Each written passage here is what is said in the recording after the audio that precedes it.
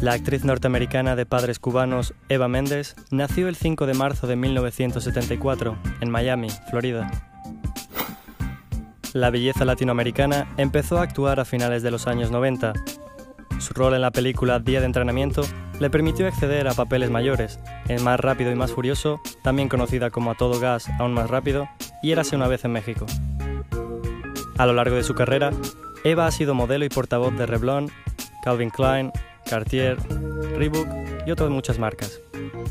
Su anuncio impreso para el perfume Secret Obsession de Calvin Klein, en el que aparece desnuda, fue prohibido en los Estados Unidos. Eva tiene una línea de ropa de cama y cubiertos que se venden en las tiendas por departamento de Macy's. También ha diseñado una colección de moda para la casa de moda New York ⁇ Company en 2013. Eva obtuvo el primer puesto en la edición de 2009 de las mujeres más deseadas de AskMen.com.